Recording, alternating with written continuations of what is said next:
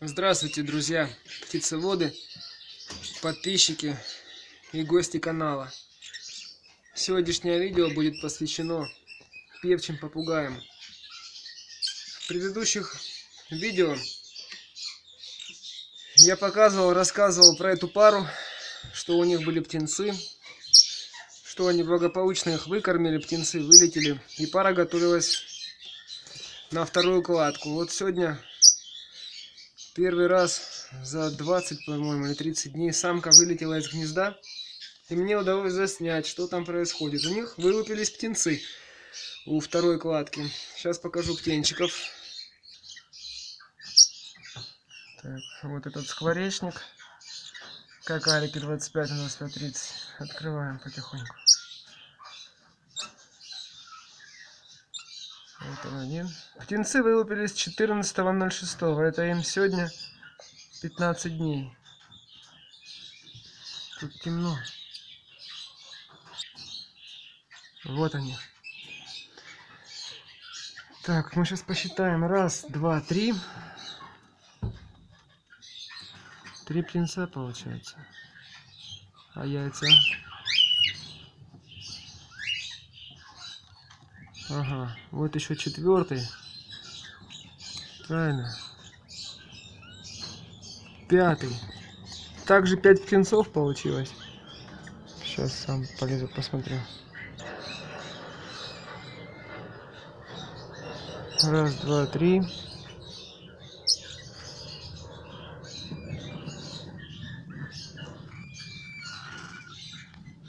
Четыре, пять. Плохо видно. Вроде пять. Или шесть. Сейчас руку засуну, посмотрю.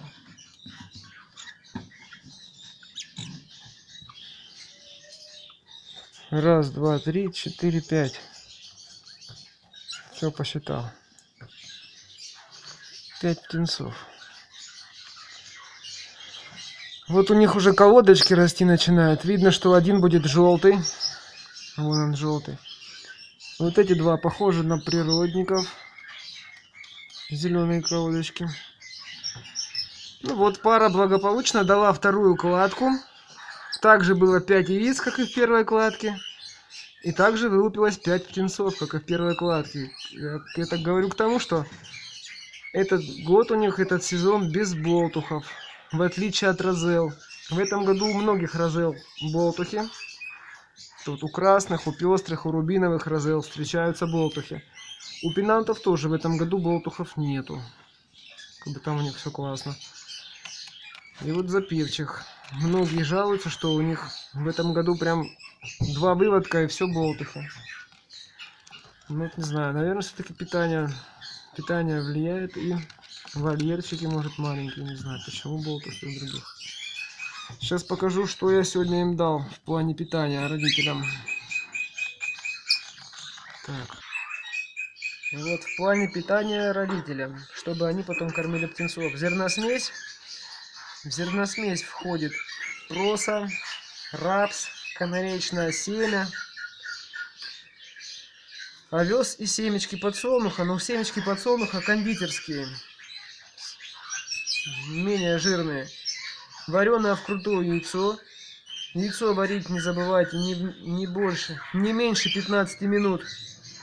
Особенно если магазинные яйца покупные. Домашние, думаю, 10 минут достаточно. Свекла. Пар... Запаренный овес сегодня дал. И вот это вот зеленое, это салат. Крис-салат или салат, как угодно там его называть. Вот. Это я сейчас снимаю сейчас по времени утра, примерно часов 9. Вот, а после обеда, примерно часов в 4, в пол пятого, я их снова приду покормлю, опять дам яйцо. Потому что тут четверть яйца съедают быстренько. Яйцо дам. Зелень уже давать не буду, дам пророщенные пшеницы или семечек, там посмотрю, что проросло. Ну, как бы вот такое питание. Вот эта пара у меня, значит, они дают в этом году благополучно второй вывод. Пара у меня это молодая. В этом году дает первый раз. Как бы вот. Покупал я их с малышей. Самца брал. В одном дворе у заводчика, самку брал в другом дворе тоже у заводчика. Как бы все брал птенцами, без магазинов, без перекупов. Вот тоже немаловажно. Бывает перекупы можно брать какую-то бракованную птицу или привезенную, больную, а тут все нормально, в общем. Рекомендую брать птицу вам у заводчиков в доме. Ни на рынках, ни на магазинах. Вот. Можно у меня еще, кстати, брать. Да. Ну, в общем, кому понравилось, ставьте лайки. Вопросы, если есть, задавайте, пишите в комментариях. Не забывайте подписываться на канал. Сейчас под конец вам покажу. Появилась новая пара певчих попугаев у меня. В дальнейшем, в ближайшее время сниму про них видео. Там певчие редко, редкого окраса. Сейчас перейду к ним.